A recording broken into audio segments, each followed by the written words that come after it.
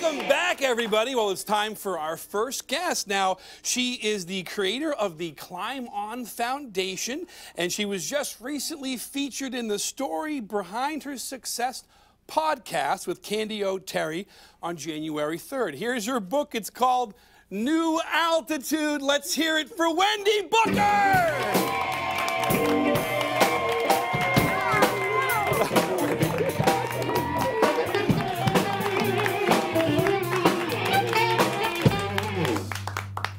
Wendy, thanks for coming out here Hey, thanks for having me. and being a part of our show. Uh, you have a fantastic story, and it's really uh, amazing what you've done. Uh, I wanted to first uh, tell the audience that at the age of 43, you found out you had uh, MS. Right. And that's uh, multiple uh, sclerosis. And I just kind of, you know, a lot of people hear that, they know what it is. Some people don't. So why don't you uh, give them a little uh, history there of what multiple sclerosis is? Yeah. Uh, MS is an autoimmune disease. It is uh, affects everybody differently. It's very unpredictable, and it affects the central nervous system by breaking down the myelin, which is the insulation around our central nervous system, and so messages don't get delivered from the brain as well as they should. That's putting it very elementary, but a good definition. Well, uh, now, when you had found out that you had this, it, it changed your life. Um, you, you were, as you can say, relaxing at home. Uh, you, you had three boys. Yeah. Um, uh, you weren't a very physical, active person. Nope. Uh, in fact, I think uh, I, I heard you, you were running at the time when you had found out that you had MS. And, uh, and it kind of hit you in a way where uh, you decided to try to do some new things. Why? to see how far and how hard I could push back at my diagnosis. That was my main reason. I didn't, like most of us, when you hear the words multiple sclerosis, either you think you're one of Jerry Lewis's kids, which we all have that similar, like, uh oh, this is bad. Then when you realize, no, that's a different illness, you immediately think disability, which most of us do. They, somebody you know in your past who doesn't look very good. All of us have that. It stops you in your tracks and it takes your breath away. But somehow I knew there was more to it. And so I decided to push back. And so I got busy. Yeah, and, and you did things like run the Boston Marathon. How about this? Uh, and, and you ended up climbing mountains. I mean, some of the things you've done are, are fantastic, but I, I want to mention this too because at the time when you got MS, uh, there were some new uh, medication that came out for this for this uh, disease, and MS therapies is what they call it. But uh, this uh, uh, helped you a lot. Yeah. Um, a lot of luck on my side. Prior to 1993, there was nothing for multiple sclerosis. It was called uh, diagnose and adios. Is How scary is that? You were pretty much told to go home and prepare for whatever happens. I got the disease just as these new therapies came out. They are not a cure, but they keep you longer in remission, which is what you want. Yep. And that's when I said, well, let's just see how different this is now that I with MS. And and the face of MS has changed, and I want to be that face to say to people, you've got it, get on a therapy and go on living your life. How about that? everybody? Well, mm, we're going to take a break, but uh, before we do, I want to talk about this six of seven summits, which are the, the largest uh, mountains in the world that you climbed. How did you get to being someone who just ran a little bit to climbing mountains? Uh, serendipity. I define myself by three S's self discovery, stubbornness, and a whole lot of serendipity. And mm. so that's the good stuff that comes along. I heard about a team of people with multiple sclerosis who were going to go climb Denali. Mm-hmm. When I heard Denali, I thought it sounded hot and tropical. Mm-hmm. I only have climbed Monadnock and Chocorua, and I said, "Oh, I'm a climber." Little did I know it's one of the highest mountains in the world. Mm-hmm. I was lucky enough to get chosen to be on that, probably because with MS there weren't a lot of people doing things. So by merit of running that Boston Marathon, mm-hmm. they knew that I was physically crazy, I guess. Yeah.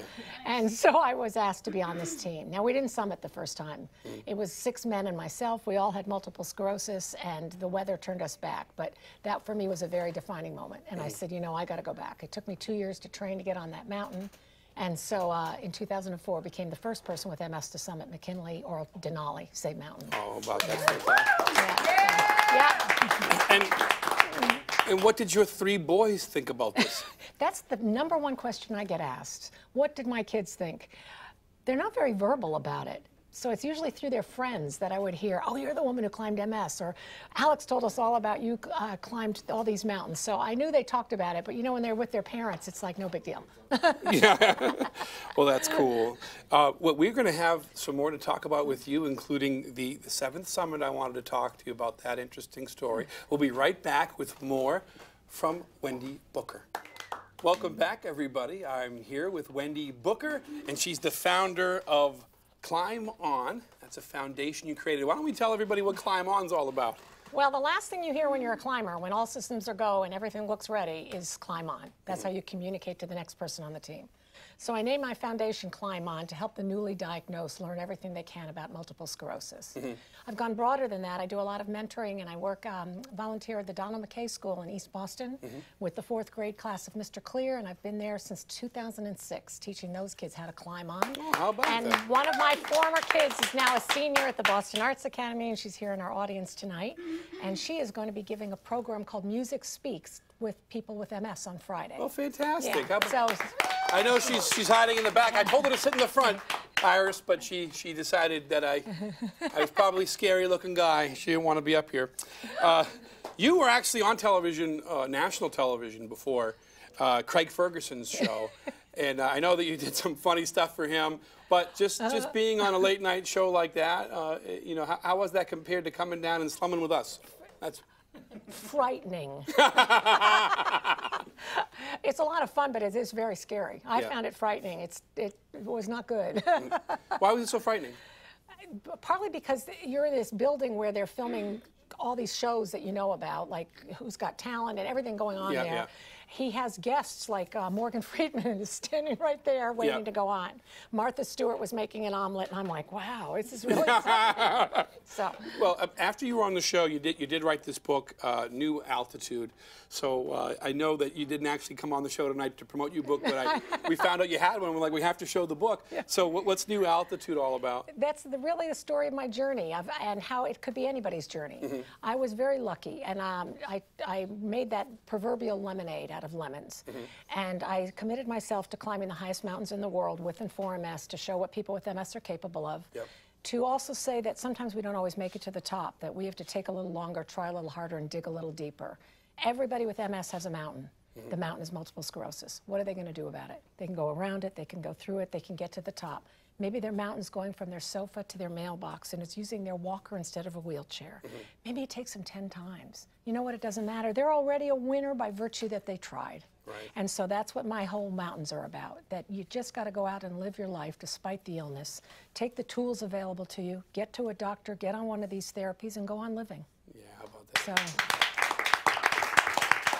No, I, I, I, wanted to mention the the seventh summit, which was yes. Mount Everest. You you tried twice, twice, and but didn't make it to the top. What happened? Oh, multiple sclerosis. Mm -hmm. But boy, that was my Achilles. I tried it twice, and I so desperately wanted to get to the top. I made it within 6,000 feet, got mm -hmm. to mm-hmm. about between 23 and 24,000 feet. You're on that mountain for almost two and a half months. And it was determined because my MS got so bad I couldn't go on. I would have been a danger to myself and to the people I was climbing with, would have been a huge liability. Mm -hmm. And so I recognized that this was foolhardy and we all wanted to come back to our families, so I did turn back. And the belief being that it was too long to be exposed to the lack of oxygen with a disease of the central nervous system. Right. Came back very dejected, though. Here mm -hmm. had been my mission. I wanted to be the first person with MS to do the seven summits. I talk about it. I work as a motivational speaker, and all of a sudden I felt like I was a failure, and the MS took it away. Mm -hmm. And I realized that's what MS does. It takes away our goals, our dreams, our joy. And I thought, I can't let it. I got to keep pushing with my mission. So after feeling kind of sorry for myself for about three months, I started thinking, well, what is Everest? It's the top of the world, but it's not the only top. And so in 2011, I took a dog sled team and was the first person with MS to stand on the North Pole, the mm-hmm. true top of the world. so what turned out to be amazing is that failure of not making Everest was the best thing that ever happened.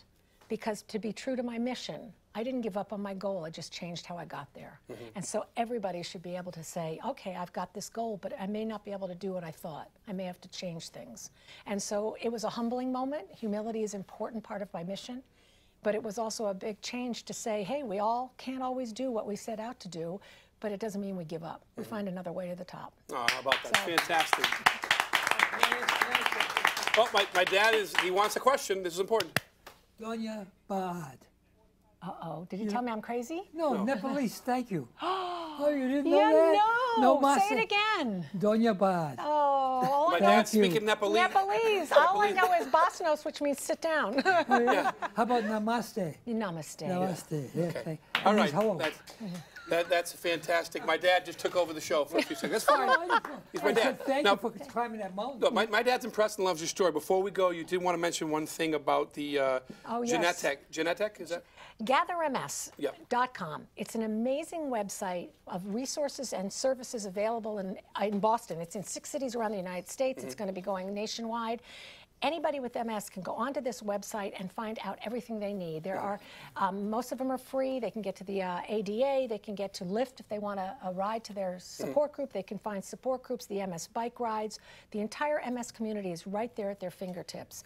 It will help that patient navigate. It'll help their care partners. They came up with it by doing a survey of 800 people with multiple sclerosis called the MS Mindset Survey. 85% said they just wanted help with day to day living. And that's what this Gather MS is six categories uh, health and wellness, community, things going on right here in Boston that somebody with MS can find out on their computer and make it part of their life. That's fantastic. And how do they get to Gather MS? Uh, gatherms.com. Oh. And it was inspired by the MS patient and made possible by Genentech. And so I'd love to speak about it because it really is a wonderful service for those people living with MS. Well, listen, you are truly a hero, I'm and you're lucky. blazing trails for people with MS. Uh, the you. book is New Altitude. She's the founder of the Climb On Foundation, and we're so glad that she came here tonight, ladies and gentlemen. Wendy Booker. Thank you. Uh, Namaste. Namaste. All right. Thank you so much. We'll be right back right after this.